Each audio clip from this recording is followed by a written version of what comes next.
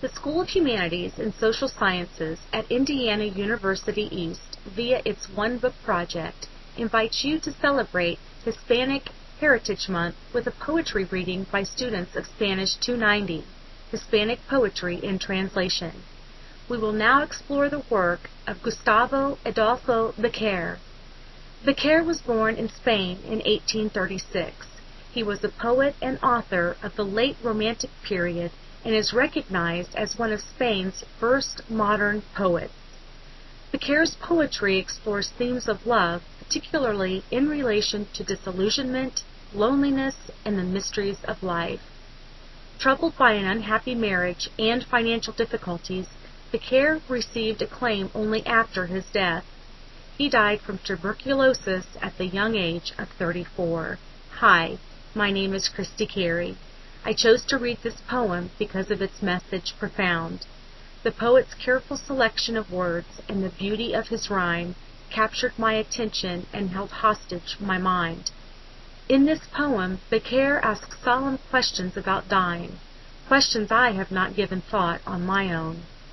Death is inevitable for each and all, but dying alone must be worse than death's beck and call. Published in the nineteenth century, the title of my poem is To See the Hours of Fever. To see the hours of fever and sleeplessness pass by, seated at my bedside, who will say good-bye? When my hand gropes trembling with its dying grasp, seeking for a friendly hand, whose hand will it clasp? When my eyes turn glassy as my seeing dies, Open still and staring, who will close my eyes?